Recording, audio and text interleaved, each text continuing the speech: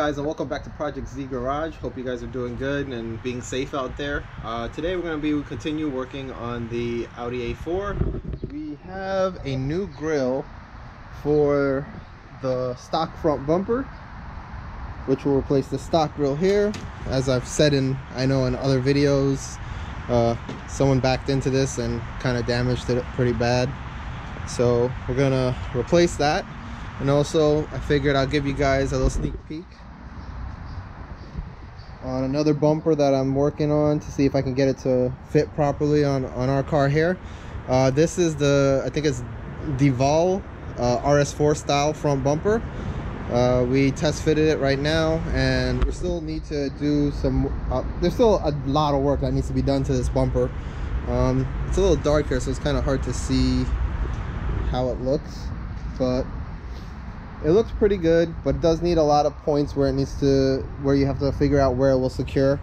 Um, it doesn't have like the OEM brackets and stuff that normally hooks onto the body of the car so you need to make your own or find ways to retrofit the uh, stock parts from the uh, the original bumper onto it so that it fits. So that's what I really would like to do is use some of the parts off of this old bumper you know combine it with this one. But again this is a project down the line. I don't know how soon i'll be able to get to it. Right now i just want to get everything back together so i can start driving it again.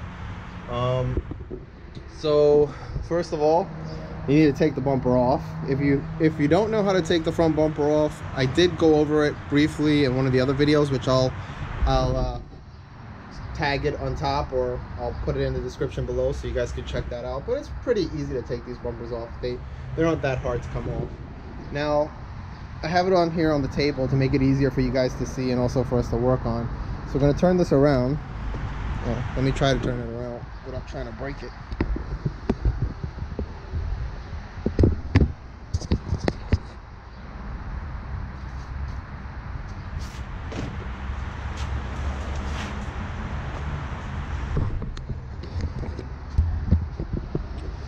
All right, now this now the grill is it's pretty easy to come off.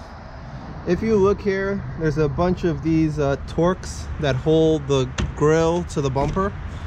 Um, and there, you kind of just have to work your way around it and removing all of these. So we're gonna work on that. Also you have to be careful. This is the fog light wiring which runs from one side of the bumper to the other side. So we're gonna have to take those off you know take the whatever's tape or whatever's holding it on to the back of the grill and then we have to find a way of securing this on the other grill that we have. So let us work on getting this grill off and finding out what size these are so we know what to take off. There's a decent amount of them too. Uh, let's see. All right guys so to get this grill off once you turn it around we have a bunch of T20 Torx screws about 10 of them around the perimeter of the grill. So I'm gonna work on getting those off and getting this uh, old grill disassembled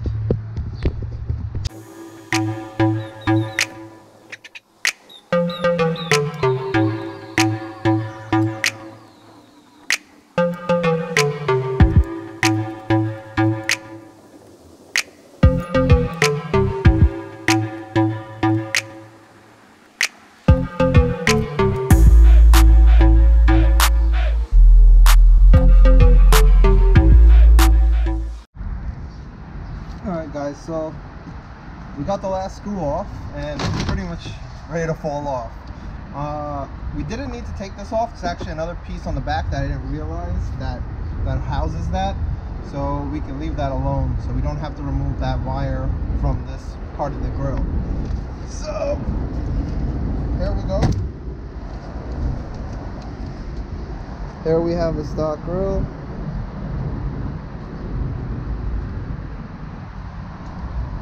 Taken off let's put that to the side.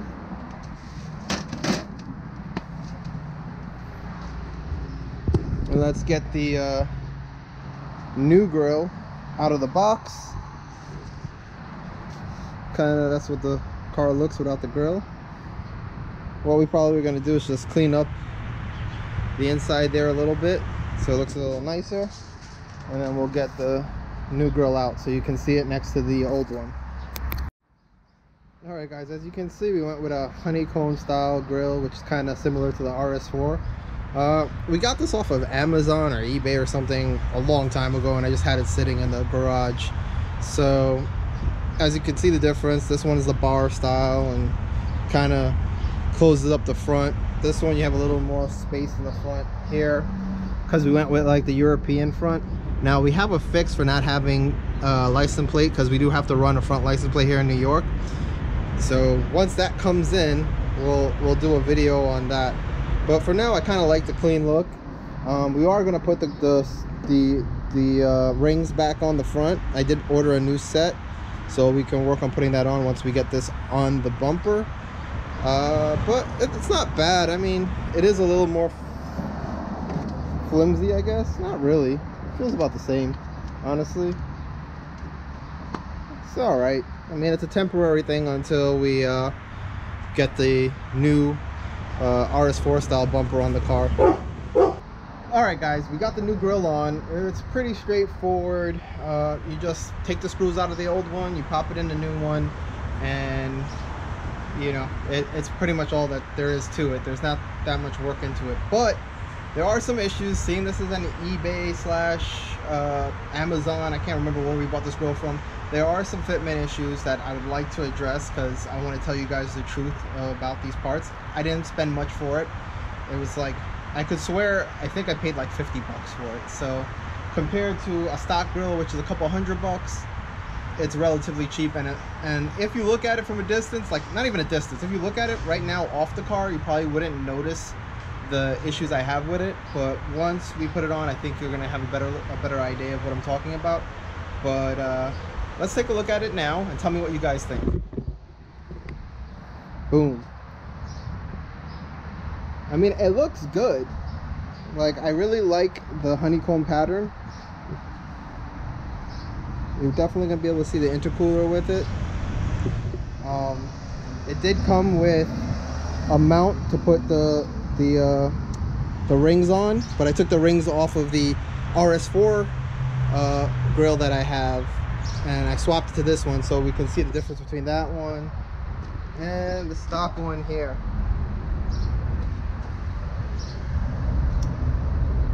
So from this picture, it looks great.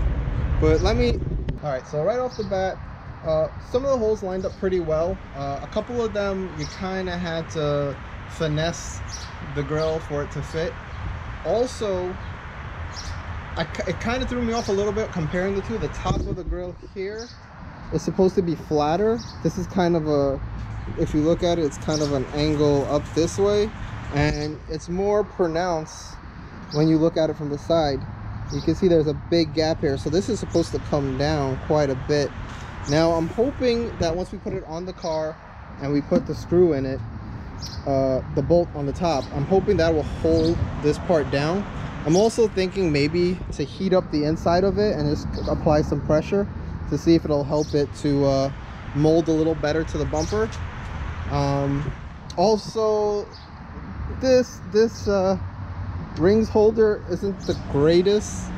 Uh, if you come from the back it's using some straps here like some rubber straps that screw into the top and bottom. I mean I think it'll hold it in place but you're gonna have to measure and make sure you have the rings in a in like exact center or else I guess it'll look off if you just throw it on anyhow. Now this gives you, I mean the good part about this, it gives you some flexibility to move the rings up and down and, and left and right, however you like it. I moved it a little higher because it seemed to fit a little better. Uh, with the way I lined it up. And honestly, if you look at it from a distance, it looks really cool. I mean, I really like the way the grill looks, but I mean, it's a cheap grill. You get what you pay for. And it's only temporary until we can get the uh, RS4 bumper sorted out. I mean, it's going to take some time to figure out mounting and making it look correct and fit the way I want it to fit because I don't want to have any, uh, you know, big gaps where the headlights are or by the fenders. Like, I want it to fit really nice. And that just takes time, you know, it's going back and forth, fitting it multiple times. And I, I really, it's nice out right now, so I really would like to drive the car and kind of put some miles on it. Also, in a future episode, we need to uh, put the final tune from JHM on the car. So we're gonna put the final tune, which is the complete tune, because uh, up to a few months ago, I believe uh, the tune I had on it was just uh, like a 91 base tune for the K04R turbo kit. So they completed the 93 octane tune for it. So I'm gonna throw that on and we'll see how it runs.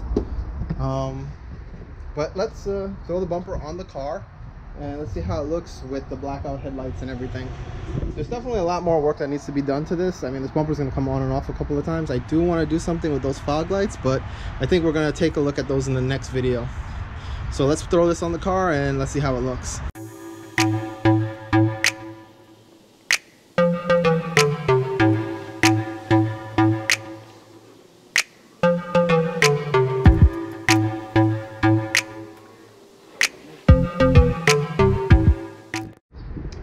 uh, like I was saying, if you're gonna do this, you might wanna also spray paint that little grill in the back of the bumper black. So, cause it kind of stands out a little bit. I mean, I don't know how noticeable it is on the camera, but I think if I, once I get the bumper back off, maybe I'll, I'll spray the piece behind here black to match it so it doesn't stand out as much. But, you know, for, for what it's worth, I really like it. Let me know what you guys think. Uh, it was a really quick install especially since the bumper was already off I kind of want to do some work on these fog lights so I'm going to pull it back off pull the fog lights out and that's going to be in another video. But uh, for now I think we're going to call that a wrap. I hope you guys enjoyed the video.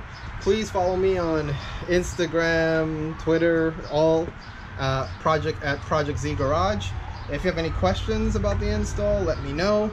Um, I will post in the description uh, the link to the last video and how we took the bumper off it is really pretty easy on these cars. It, it really doesn't take very long to get it to get it off the car. But uh until then guys i oh i think zeus is having a little howling fit here. But until uh next time guys we will catch you in the next video. Peace